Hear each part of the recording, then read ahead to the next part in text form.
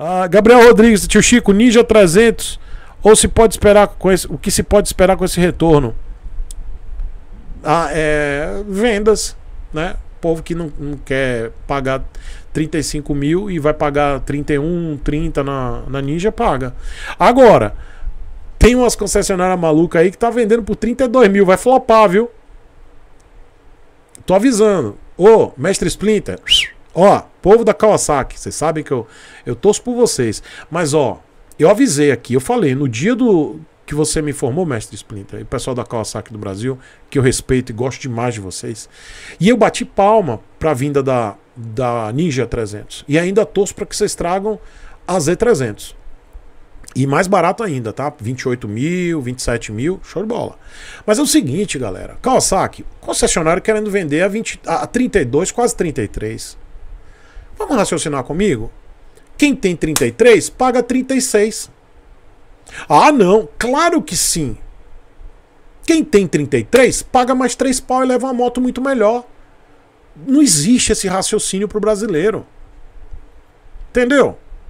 Aí você vai pagar 32 mil fração quase 33. Aí você. Aí o cabra. Porque eu recebi essa informação, tá?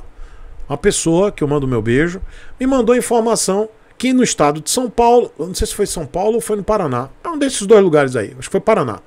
Estado do, do Paraná, tá lá, concessionária Kawasaki, vendendo a Ninja 300 a 32 mil e baralhada, quase 33.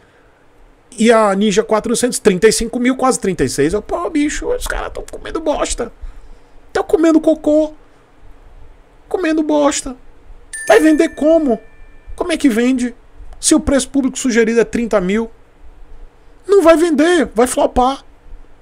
Vai flopar. Por que, tio Chico, vai flopar? Porque a, Ninja 400 é muito superior à Ninja 300. Mas muito, muito.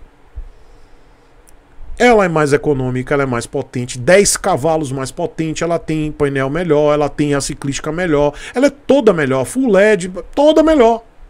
Toda. Enquanto a Ninja 300 chegou do jeito que ela foi lá congelada em 2018. É óbvio que vai flopar. Então, pessoal da Kawasaki Brasil, conversem com seus concessionários. Né? Conversem com seus concessionários, conversem.